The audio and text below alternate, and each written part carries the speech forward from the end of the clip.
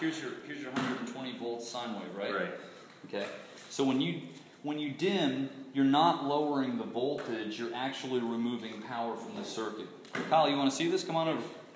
So so when you look at the power coming out of the wall, it looks like this. So this is the voltage going up and down. That's why it's AC. It's alternating current. So this is positive current. This is negative current. Okay.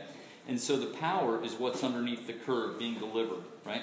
So when you, let's say you wanted to dim 50%, if you didn't turn, if you left this off and then turned it on halfway through the hump and then rode that wave down, let it turn off and then turn on halfway through the hump and up, now That's reverse phase. this is forward phase Oh, forward. because you chopped off the Oh, forward part of the sine.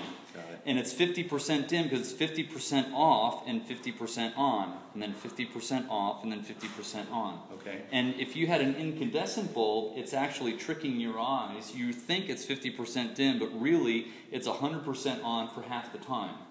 So it's blinking on and off, but you can't see it. So that's so this is forward phase. Now what someone discovered is that's really hard on electronic drivers because what happens is it's fully off and then it spikes onto the absolute peak of the voltage curve and then rides it down gently and then it comes over here and then spikes it on and so it's really hard on the electronics you get this huge surge Right. of current through the circuit. So what someone engineer said is he said, well, if we ride the voltage up gently and then just shut it off, it's a lot easier on the electronic circuitry. So that's why your electronic uh, uh, ELV, electronic low voltage Likes devices, reverse. like reverse phase.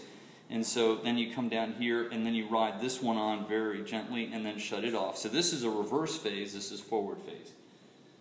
So that was it. Good stuff.